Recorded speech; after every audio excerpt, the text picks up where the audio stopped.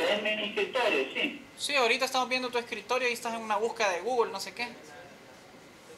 Y, y también, ¿solo mi escritorio o lo del Skype? ¿O cómo?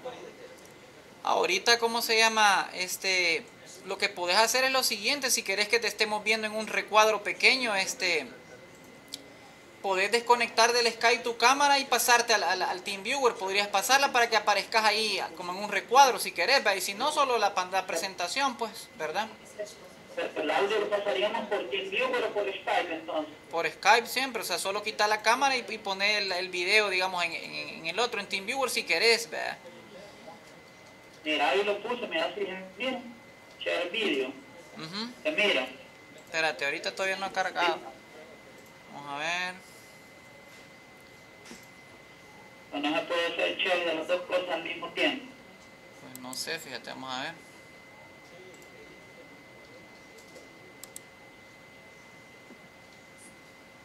Ahí está, ya te estamos viendo. ¿Y si apareces? Pero aparezco si, si minimizo esto. Sí, no aparezco. No, ya no apareces, pero ahorita, pues sí, cuando estés dando la clase, a menos que quieras que te veamos algún tu gesto, pero de lo contrario, o sea, realmente queremos ver la clase, no a vos.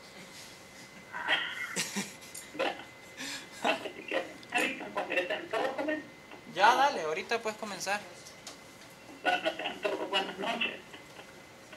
Se está poniendo. Bueno. Espero que ahora sí podamos iniciar, menos lamentando lo de la, lo de la sesión anterior. Mira, este, fíjate que se está poniendo algo lento esto. ¿Qué, qué será? No, yo creo que era por la señal de mi cámara, ya, ya la, la quité ahorita. Va, dale. Va, ah, pues, este, ¿cómo se llama? Tengan todos buenas noches, como les decía, esperando que ahora sí pueda dar la y lamentando lo de la sesión anterior. Fíjense que aquí realmente es como el Salvador de los 80, le comentaba a la gente, que aquí todavía tenemos bastantes problemas con, los, con eléctrica, el internet es, es, mejor el internet de 3G para decir que los internet residenciales. En cualquier momento podemos tener problemas para recortar, vamos a volver a, a conectar, eso es lo que hay que hacer. La materia esta es una materia de, de arquitectura de redes es una de las, digamos, materias básicas de redes, de, de toda la maestría. Más adelante ustedes van a llevar un montón de materias más que son de, como de especialización, por ejemplo la de aire, de está también la materia de, de etc. Nosotros vamos a tratar de avanzar la mayor parte del tiempo en, en los conceptos básicos, pero aplicados, porque así teórica la materia está así bien de, del libro, y el libro casi eh, no es muy bueno. Vamos a, vamos a tener varios momentos de, de, para poderlo aplicar directamente en los laboratorios. Generalmente, como se da esto, así no creo que se trabaja con topología, es decir, yo les presentaría una topología, ustedes la van a la y tiene cierto grupo de requerimientos. Esos requerimientos técnicos los cumplen, los tienen que cumplir para poder, digamos, posteriormente avanzar ya en la, a la siguiente topología. Todas las topologías son complementarias, es decir, que si nosotros hacemos una topología ahora, por ejemplo, veámoslo si quieren de una vez, la que yo tengo acá, si, ustedes la pueden ver bien. Pero creo que a ver si se está viendo o no está bien. Sí, ahí está bien esta, la, la que dice asignación 1, materiales de clase que ustedes tienen por ahí, creo que ahí lo pueden ver. Entonces, por ejemplo, en esta ustedes tienen allí una topología, que es esta que está acá, que es la primera topología que vamos a implementar. Es decir, que para la asignatura lo que vamos a hacer es que vamos a hacer el grupo. Cada grupo, en este caso por entiendo que somos entre 12 a 15 personas. Ustedes lo creen, y cada grupo tendría su responsabilidad de ir armando cada una de estas topologías con los equipos que ahí tenemos. Entonces, la mayoría de los equipos eh, van a ser, eh, las máquinas que tenemos ahí en el laboratorio, vamos a ir armando eh, máquina por máquina, máquina por máquina, y de ahí vamos a ir nosotros haciendo la interconexión con diferentes rangos de direcciones internas. Entonces, así es como funciona la asignatura. En esta primera semana, la topología que tenemos que implementar es esta que ustedes ven acá. Por ejemplo, tiene, si ustedes ven una salida de internet, porque es del internet de la U. Julio, Julio, no se ve la imagen, o sea, no, no refresca ahorita la imagen ahí en TeamViewer vos. Ahí, Ajá, en Team, o sea, la, la, el Skype va perfecto, pero la, la, la imagen del TeamViewer como que se congeló o algo por el estilo, espérame, a ver. Sí, no como, están viendo. ahorita solo estoy viendo la pantalla del Moodle, no sé si has puesto algo más. Sí, ahorita he puesto la otra pantalla, la de la asignación 1. Si quieren lo que podemos hacer es, por si no le darle... Mira, dale compartir a la otra pantalla, Julio. Dale compartir a la otra pantalla porque eso es lo que está pasando. Solo el browser has puesto y no has compartido las demás. No, si he compartido todo el screen, dice aquí. Show en viewer panel, all windows, va. Ahí la miran, Ponela, pues. ahí la puse. No, fíjate que no la alcanzamos a ver, vamos a ver. ¿No será es que tengo que, que no se puede estar con video y presentación al mismo tiempo? Quizás baja el video un rato solo para ver si eso es, no vaya a ser. Espérame, ¿cómo es aquí? Aquí estoy mi video. Ah, que aquí está el chat abajo. Ajá. Espérame, mi video. ¿Cómo lo cancelo aquí? Solo ser así, como hay una cosita que, es decir, como es una como tipo ventana, entonces solo presiona ahí para que se te cierre ese, ese espacio del video y entonces ahí ya, ya se te va, va a desaparecer. Pero, pa, ahí ya lo quité. Ahora confirmame nada más que viene a la pantalla. Solo vemos lo del Moodle, lo que dice la diagrama semanal, eso, eso vemos ahorita. No, fíjate que esa es la primera pantalla que puse. No lo ven, va. Sí, no, no se ve, man. Espérate, vamos a ver. Allí solo que voy a intentar reunirme a la, a la presentación esa. Ah, Aquí otra vez, no. Tampoco. Espérame, antes que, cer- que cerremos. Sí, es como que se ha, se ha trabado, creo yo. vos. Espera, vamos a ver. Screen sharing. Ay, hombre. Espérame. Listo, aquí. Ahorita ya quiere ya refrescar. Quiero ver. Todavía está ahí, ¿cómo se llama? Ya, pero siempre, solo esa pantalla. Yo creo que quizás sí, quizás no has compartido la otra pantalla, Julio. Eso es lo que debe pasar, digo yo. No. por- Aquí dice present all windows, tengo yo. Mm, bueno. Explícitamente compartir la, compartir la pantalla que tiene la, la, la presentación. Intenta hacerlo. Si aquí ya lo tengo marcado y le puse ya. Show screen, es present, ahí tengo todas las aplicaciones. Uy, no está difícil así. o- Espérate. Va a tratar. Si no, voy a intentar salirme del Skype entonces para ver, porque ahorita sí no, solo la misma No, pantalla es- del Moodle, sácame. Bueno, ahí lo la que... Espera, vamos a ver. Nuevamente, a ver. Advanced, Show Team Viewer Pan, Present All Windows, Present New Windows. Mira, porque si no lo que vamos a salir haciendo es, o sea, de todos modos yo aquí tengo esos archivos, solo decirme cuál es, la voy a abrir y empezás a hablar y me vas diciendo que en qué lámina vas nada más, pues. ¿Verdad? Para agilizar Ese esto un poco. la- la- el que dice, hay un- en, la, en los materiales de clase ustedes tienen ahí uno que dice asignación 1. Arquitectura de redes, clase 1. Vale, Espérame. Entonces, por ejemplo, esa topología es la que vamos a trabajar esta semana. espérame, espérame, espérame. Ya le puedo explicar yo bien cómo lo vamos a hacer. Ahorita lo que estoy, estoy tratando de demostrarles cómo vamos a trabajar. Espérame.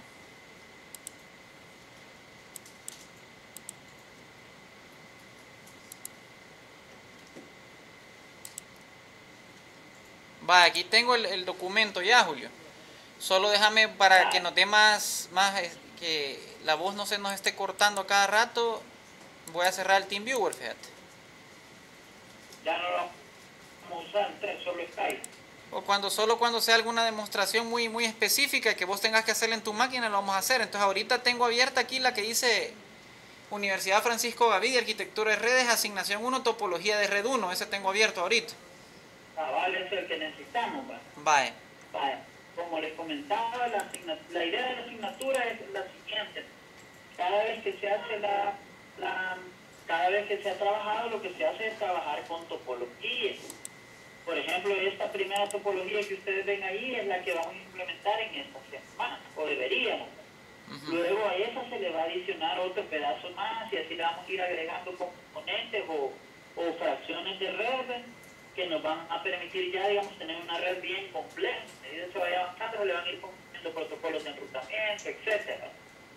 Entonces, esa va a ser la que vamos a trabajar en la primera semana.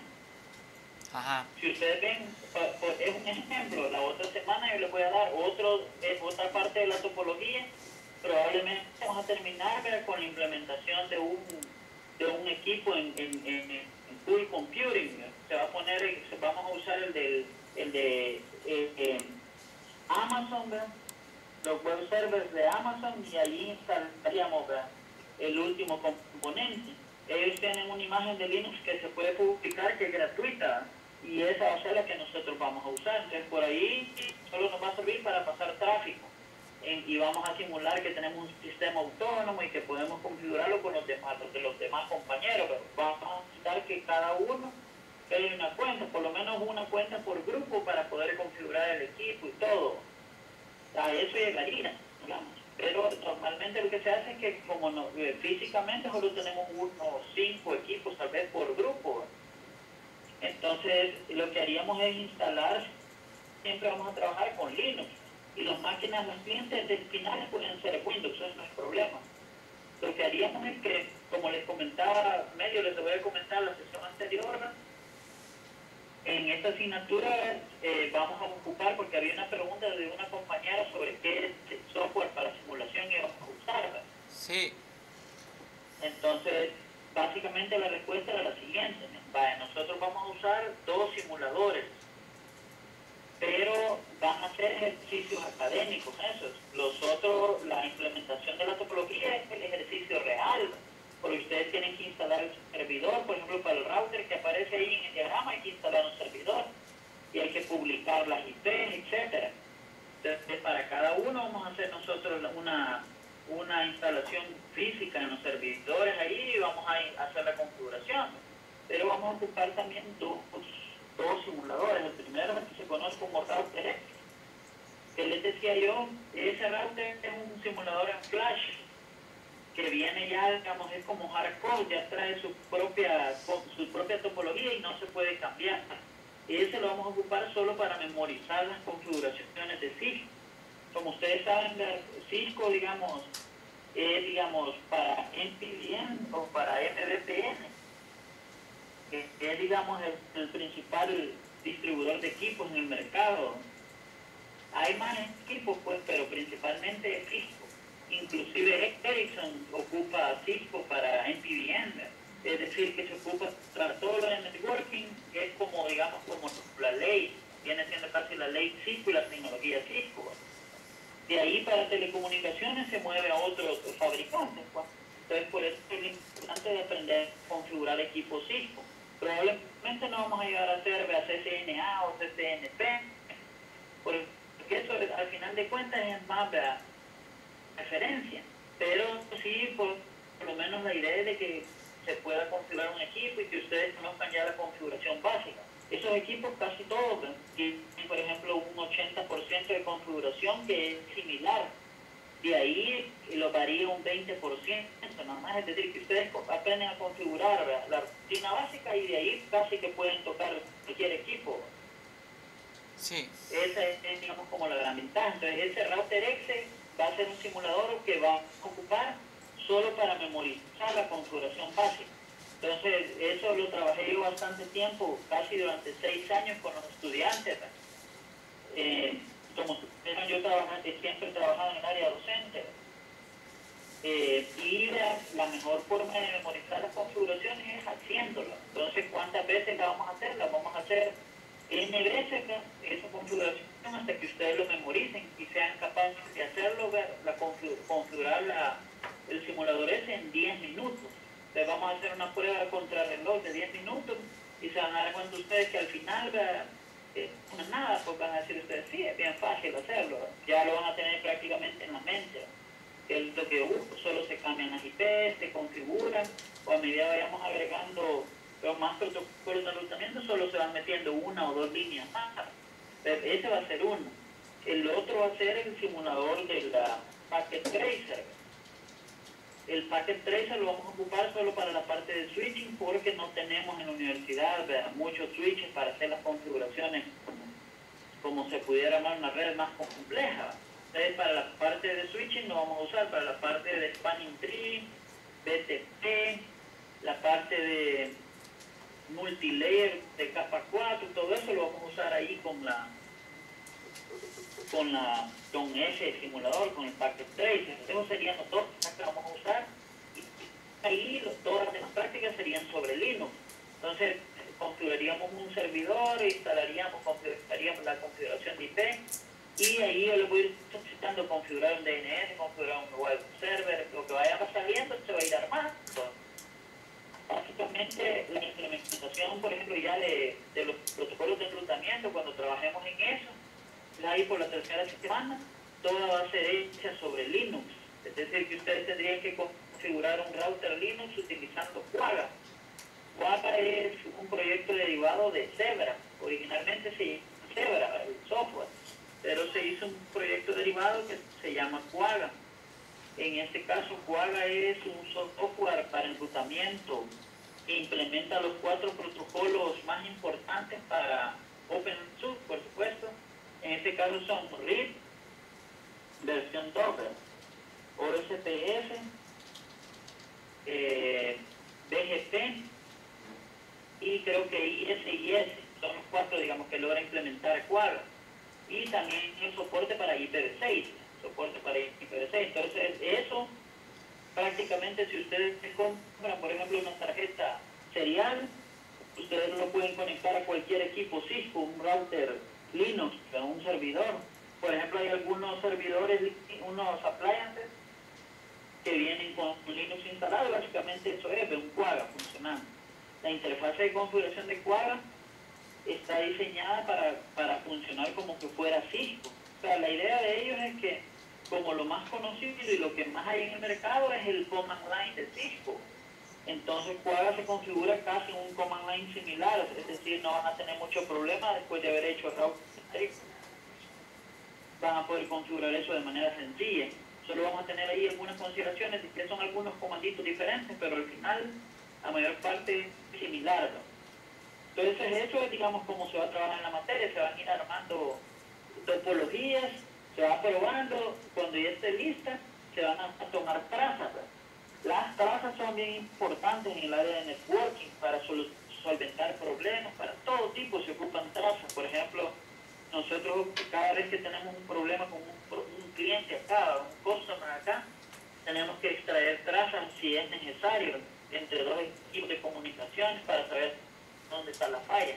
O tenemos que extraer trazas para ver qué tipo de datos se le están mandando a una central, por ejemplo, o qué tipo de datos se están recibiendo de un equipo de charging para plataformas móviles, etcétera. Entonces lo mismo haríamos nosotros y hablaríamos como para diversos protocolos. Por ejemplo, si ustedes ven en este primer asignación, dice crear grupos, ser un IP plan y trazar ARP, HTTP, ITMP y TCP/IP. Yo les voy a explicar ahí cómo se hace. En las trazas para poderlas capturar se ocupan herramientas específicas. Por ejemplo, en el área de IP se ocupa también puede ocupar el, el, los mirror para desviar tráfico a un puerto de un switch y de ahí poner un, analizador de protocolo. Eh, qué sé yo, en el área de, de signaling, por ejemplo, ocupan otro tipo de analizadores de protocolo, etcétera. Dependiendo del tipo de protocolo que es el analizador. Entre nosotros vamos a trabajar con el Warchar. El Warchar es, digamos, la implementación eh, quizás más completa para las trazas a nivel de TCP/IP y modelo OSI básico. Se ocupa para todo y, es bastante útil para trazar y ver Julio, cómo está el comportamiento de la, de la red. Sí. Vaya, espérame. O sea, tal vez este, antes de que avances, o sea, más que todas las herramientas que has mencionado, quizás las voy a, las voy a presentar acá con, con sus nombres, ¿verdad? Yo se la, si querés, se la, yo se la voy a pasar a medida que vayamos avanzando, se la voy a ir dando en un documento. Ajá. Si querés, se la explico ahí. Solo las voy a ir escribiendo. vaya. Wirechat vamos a utilizar para, para el analizar tráfico. Wirechat, ¿verdad? Y el otro es el, el que... El Quagga. Ah, ahí está. Ahí está. Estos serían. punto exe, Ajá. Packet Tracer. Va, eso, eso exactamente, eso, porque para que se vean los nombres, ellos, o sea, ahí va a quedar ahorita ahí en el video y ellos puedan ver si empiezan a investigar por su cuenta, me imagino, ¿verdad? Entonces ya con Sí. esos, ya podía, ya por lo menos ya tienen ahorita ya, cómo es que se llaman, o sea, y cómo se escribe y todo para buscar, pues, ¿verdad? Va, Ajá. ahorita estoy poniendo ahí la, la parte del chat, ¿verdad? Para que ellos lo vean, va, entonces de ahí, si querés continúa entonces, más que todo eso era para que ellos copiaran esos nombres. Ah, ahorita ustedes no se, no se preocupen por eso, porque yo les voy a dar ahí en su momento cada, cada cosa que vamos a ir usando. Entonces, este es un ejemplo, ahorita no hemos entrado todavía a la, a la parte de, de análisis de eso, solo mostrándoles cómo funciona. Hecho, la asignación 1 es una topología de red 1 y se trabajaría en grupo. Algunos, eh, muchas veces puede hacer referencia a los RFC, no sé si todo- algunos de ustedes han escuchado o han trabajado con los RFC. Creo que sí, es probable. Sí, dicen que sí, Los dicen. RFC, los RFC son los requests for comments. Básicamente son ¿verdad? los documentos de internet, ¿verdad? o lo que en ingeniería le llaman los documentos de los pobres, le dicen a unos ingenieros. Porque ahí viene, compran un libro caro de TCP/IP, por ejemplo, por ejemplo. Pueden comprar un libro de 40 dólares ¿verdad? para estudiar y hay otra gente que baja el, el TXT de internet y es básicamente la definición del protocolo. Entonces yo le voy a poner para tal fecha, debe estar acorde a tal RFC. Por ejemplo, en esta asignación debe estar acorde al RFC 1918, que es la RFC de definición de, de- de, eh, ¿cómo se llama? De eh, private IP, de redes privadas, IP privadas. Ahí les dice qué IP se deben ejecutar y bajo qué cosa, pero ahí lo vamos a ir analizando poco a poco. Vale. No puede ser. Ahora, esa es como la forma de trabajar, digamos, ese lo tienen que tener ustedes ahí, creo que hoy curso. Si vos lo abrís, hay un documentillo de texto que dice RFC 1918. Ahorita, ahorita lo abro. Ah, sí, aquí está en español, ¿verdad? Ajá, dice asignación de direcciones para internet privada. Sí, ahí está, y ahí cabal. explica qué direccionamiento debe usar. Por ejemplo, ellos siempre dicen espacio privado y Ana ha asignado tales direcciones para la privada. 1000 de clase A, 13216 de clase B y 19218 de clase B. Pero acuérdense que eso es para Classful Routing, ¿no? Que eso Classful Routing ya no existe prácticamente. Era lo que se ocupaba no sé si alguno de ustedes recuerda que se ocupaba una tablita para decir la clase A, las direcciones IP clase A van entre tal rango y tal rango. Clase B entre tal rango y tal rango. Y uno no se podía salir de ahí. Entonces se le llama Classful Routing porque ustedes tienen como una tabla y la tabla les dice en qué rango, qué más tienen que usar.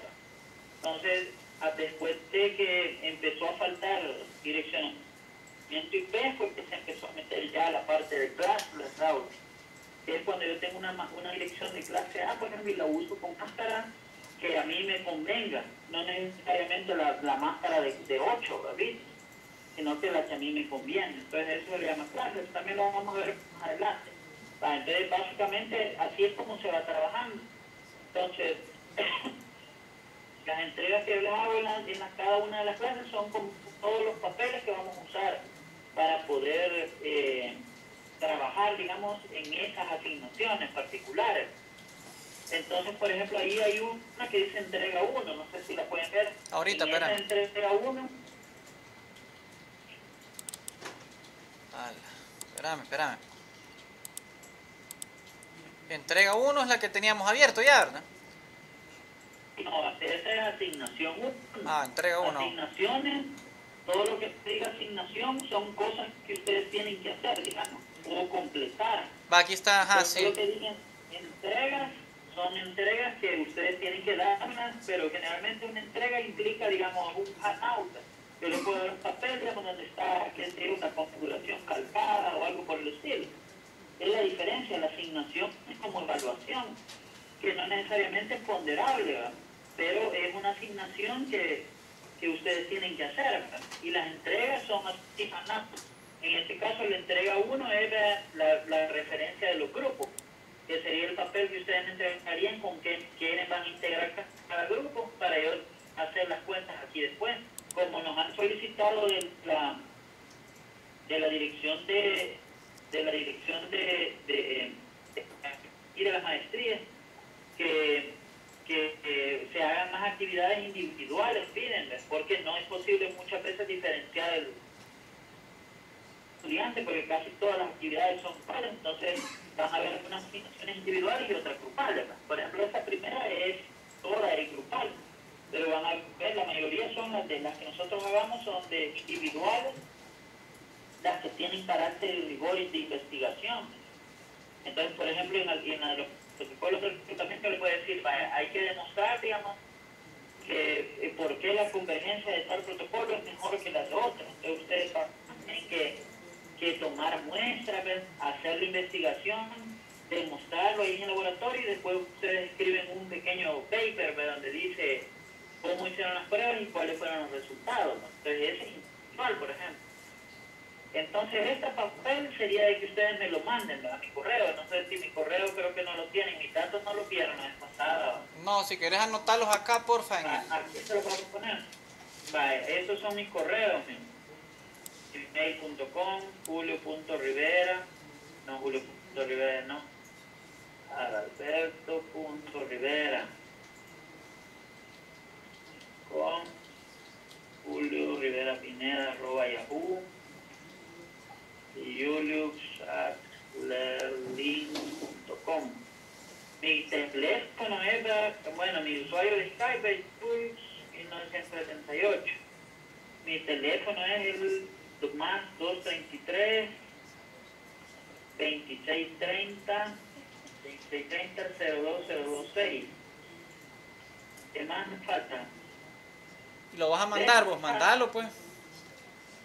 ¿Cómo? Mandalo ahí. Ahí, en lo mandé, ahí se los mandé ahorita a Ana, a Caifás. ¿Y por qué lo estás poniendo a Caifás? Mandalo a nosotros. Es que lo que pasa es que se- dicen de que hay un Amazing Race aquí en Ghana ahorita, parece. Ah, ya. ¿No? ¿Han visto ese evento de Amazing Race? Entonces va a haber uno aquí, parece. Ahí va, ahí se los puse. Eso básicamente son los correos, el, el que más ocupo quizás generalmente es el de Gmail y el otro que es el de la oficina, que a veces solo a eso tenemos acceso en horas de oficina, entonces cualquier duda ahí en la orden.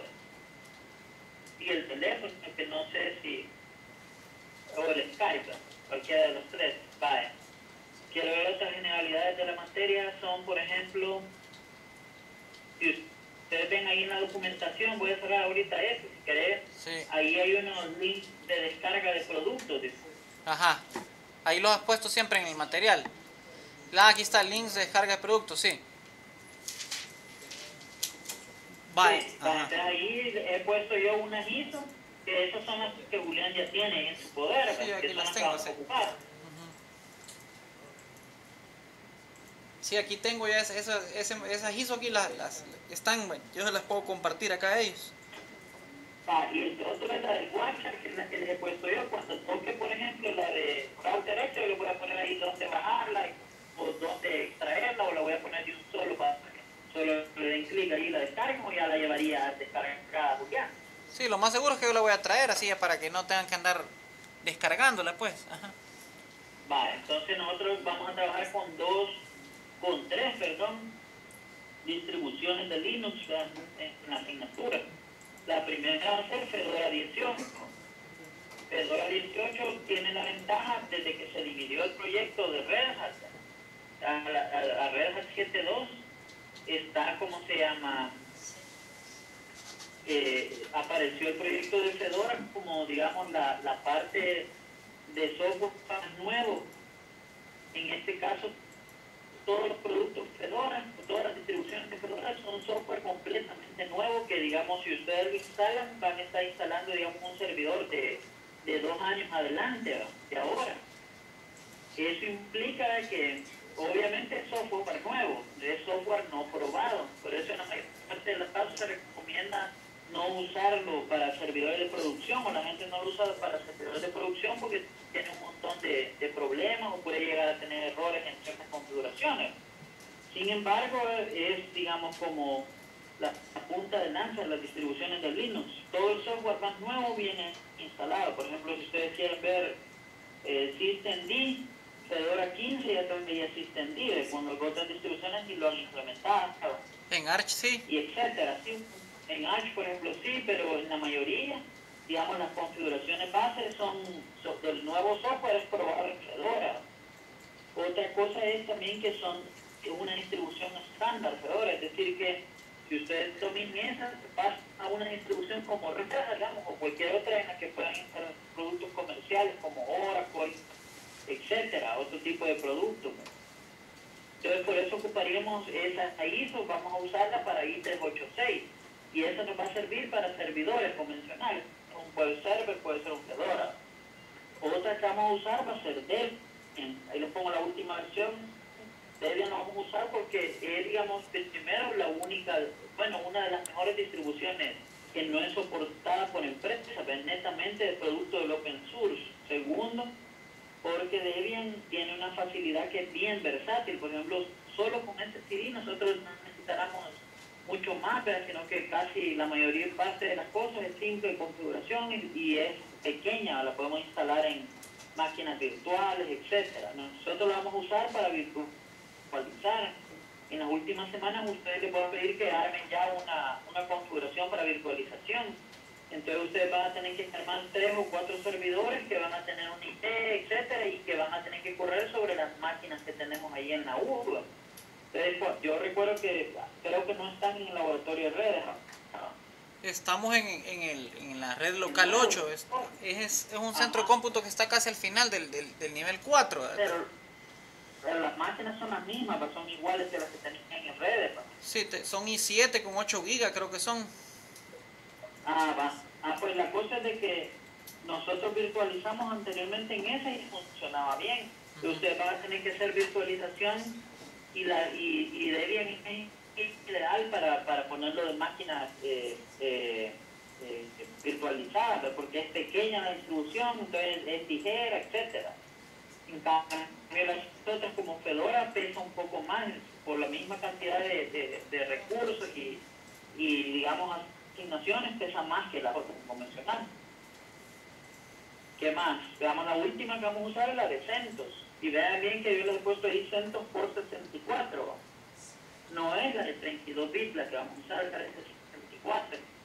Porque esta distribución es la que vamos a usar para virtualizar todos los hypervisors que ocupan estas distribuciones de Linux, por ejemplo, ya sea Zen, LibVir, eh, QEMU, lo que se vaya a ocupar para virtualizar, generalmente eh, solo está disponible para 64 bits o se suele recomendar usar 64 bits, ustedes saben, porque no podemos alcanzar más de 4 gigas en una máquina de 32 bits. Eso es lo primero, de memoria. Segundo, porque al utilizar los 64 bits, ustedes pueden usar lo del PAE, que es una característica propia de, la, de los multicore, que se conoce como Physical Allocation Extension que es cuando ustedes tienen una extensión de bus extra. Entonces eso permite que se pueda virtualizar por fuera en, los servidores. Y además, la mayoría de las distribuciones de Linux para 64 bits son las que traen la posibilidad de virtualización más compleja. Entonces, por eso vamos a usar CentOS para 64 bits. Este no lo vamos a instalar en todas las máquinas, sino que solo de instalar en los que van a servir de hypervisor, puede ser una o dos máquinas. Y luego a Windows, obviamente Windows no lo pongo porque es instalado, pero Windows sería el cliente de redes ideal, o si ustedes quieren usar Windows como servidor también se puede, no hay problema. Y a veces pueda soportar la característica que busquemos. Va, eso digamos serían como los grandes las herramientas que usaríamos para estas primeras sesiones. Luego está la parte esta de referencia. Ustedes tienen que tener una carpeta ahí que dice referencia. pues. Espérame, espérame. Sí, referencia, sí. Va, entonces la parte de referencia lo que se pone son da- los son libros generalmente, libros, artículos o documentos de referencia. Quiere decir que en esos ahí está fundamentado. Por ejemplo, a mí cuando me dieron la maestría, nosotros el profesor nos daba una hora y llegaban con una laminita de, de PowerPoint y ahí bla, bla, bla, bla. Y después decían ustedes, las referencias son estas. Entonces ya uno tiene que ir y leer la mayor parte de los libros recomendados. O si ustedes tienen tablet, se, se aconseja también que puedan usarla directamente para, para los libros. Ahí los pueden instalar. Entonces, son cuatro las que ponía para esta primera semana. La primera es, si ustedes ven donde dice APA, vaya. Ese que dice ahí APA es la, la parte de, de estilo para redacción de, de documentos de investigación a nivel de posgrado. Es la más usada, digamos, de esta metodología. La, la APA es la mayormente utilizada a nivel mundial desde la, de la Asociación de Psicología de Estados Unidos. Y este nos sirve, digamos, como para, nos va a servir como de base para poder hacer los papers, investigación. Entonces ahí ustedes tienen dos libros, ahí lo, ustedes lo vean, donde aparece como explicado cómo citar un, un, un libro otro autor. Entonces cuando uno lo ocupa, se da cuenta al final que es mucho más fácil. A veces era tedioso cuando uno estaba en ingeniería estudiar eso en la licenciatura, que le digan, es que la bibliografía va no sé cómo, es que tiene que citar a la persona. Entonces es mucho más fácil hacerlo si ya tienen ustedes la referencia de APA. Yo les voy a pasar un software que es solo para las citas de, de la bibliografía y ustedes ahí solo meten los datos y él les genera la bibliografía para no estar perdiendo tiempo en eso. Pero tiene que ser ¿verdad? bajo este, este estilo, el trabajo que se haga. Eso es mucho más fácil que porque uno a veces piensa de que, de que no, pero ahí ya se puede citar, únicamente se puede citar ¿verdad? todos los, otros autores y es mucho más fácil acceder a la documentación. Ahí hay dos libros para ver la referencia de cómo se usan. Yo les voy a explicar y les voy a dar un template para Word y para OpenOffice. Eso no se preocupen. Si pueden investigar un poco, sería bueno.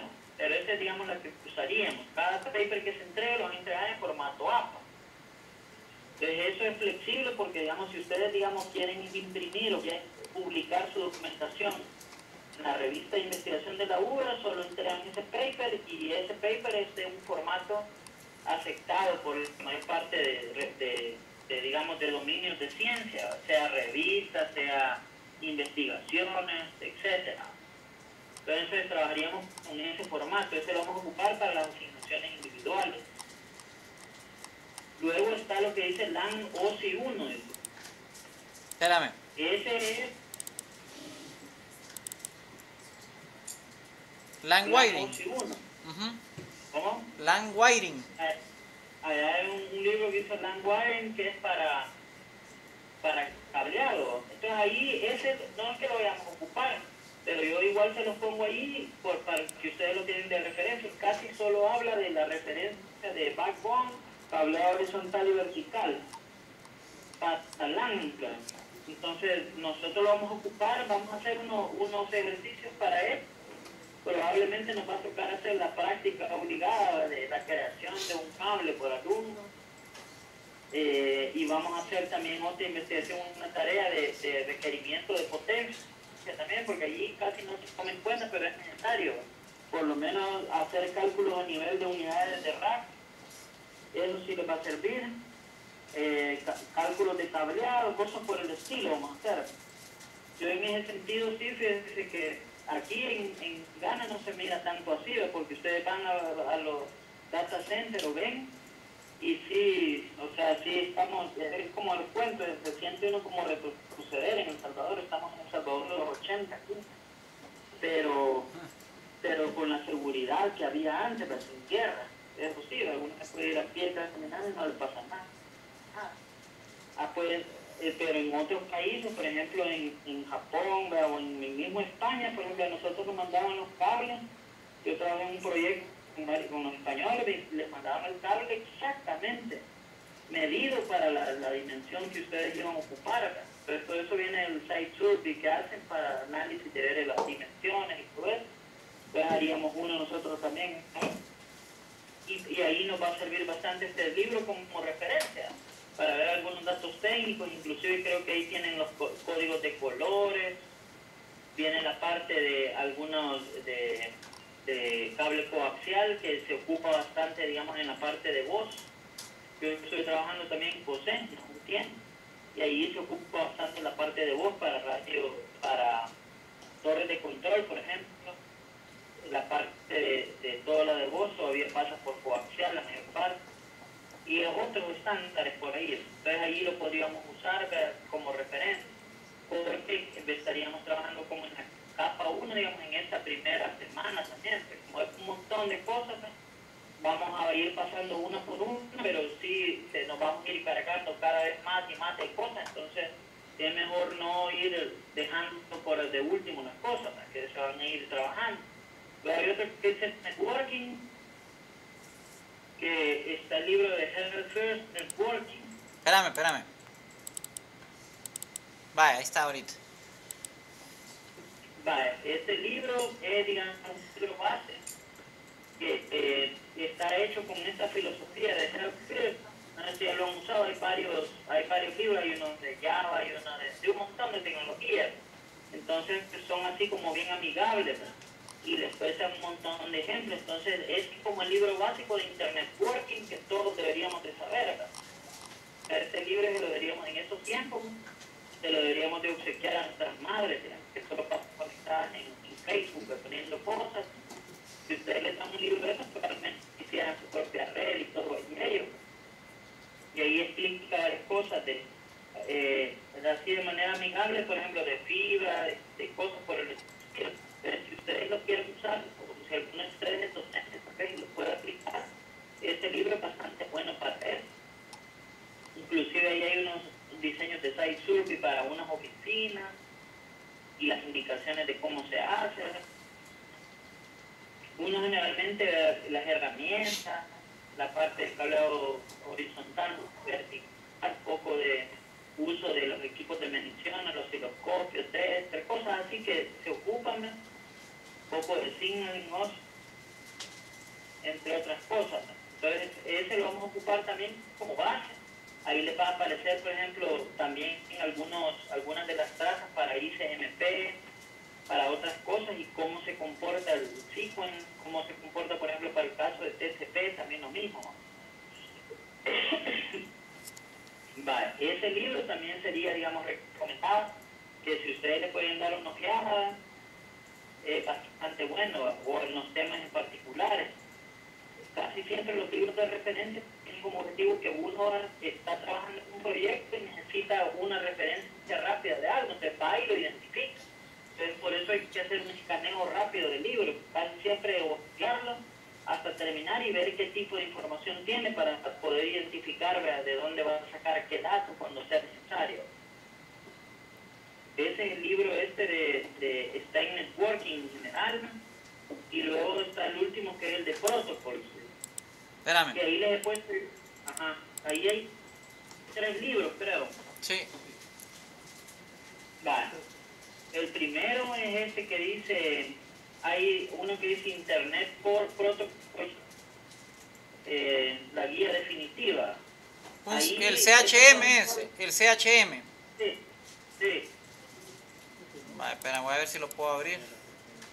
Si no, no es necesario, no va a pasar rápido. Vale. El otro, es el TSPIT Network Administration, First Edition de Craig, el apellido no sé cuál es que es un EPUB también ese. Ese, por ejemplo, todos los EPUB son, son eh, eh, amigables con tablets o teléfonos inteligentes. Es decir, el contenido puede, puede ocuparse, si lo van a leer ahí en la tablet, es bastante bueno. Y el otro es como el de la referencia de los protocolos que dice Network Protocols Handbook. Y ese Siemens. Sí. Ese que está ahí tiene, si ustedes miran en el temario, tiene cada uno de los protocolos, BootPed, ICAPA, DHCP, Finger, NAS, por ejemplo, todos los protocolos uno por uno. Entonces, si ustedes están alguno, por ejemplo, ICMP, ¿no ve ahí? Ahí le va a aparecer el Protocol Description y le dice Internet Protocol, Message Protocol, dice Integral Part of IP Suite y le da la referencia. Además de darle la referencia, les aparece la RFC donde está documentado. Ahí le dice la 792, la 950, la 2461 y le da también lo que dice allí la parte de Protocol Structure y aparece el payload o el header que tiene su protocolo. Si ustedes ven, tiene el tipo, código, checksum, identifier, sequence number y la dirección, ¿verdad? Más que ¿En qué, en qué página estamos? ¿En qué página? página 68, 78. Espérame. 68, 68. Ahorita, espérame. Ajá, y es ICMP y ICMP versión 6, ¿a eso estás hablando? va? Cabal, entonces si ustedes ven es como un resumen de, de cada protocolo y les aparece protocolos relacionados y les aparece eh, las RFC que están definiendo ese protocolo. Y les aparece también aparte un diagramita ahí donde dice protocolo structure. El de arriba, ¿eh? va? Ujú. Quiero ver, sí. Que dice Tai, Code, Chensug y todo eso.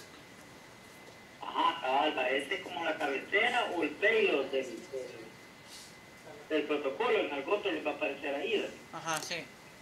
Entonces ahí en ese tienen un montón de protocolos, pues si hay alguna referencia, por ejemplo, yo necesito saber de tal protocolo, se tienen que ir ustedes ahí y ahí lo van a poder ver, vea cómo está estructurado. Hay algunos que son eh, así, horribles de comprender. Probablemente los que nosotros vamos a usar son tranquilos, ustedes ven la mayoría son simples, pero los que sí son más, son casi siempre los de sí. ¿Los de qué decís? Se le cayó.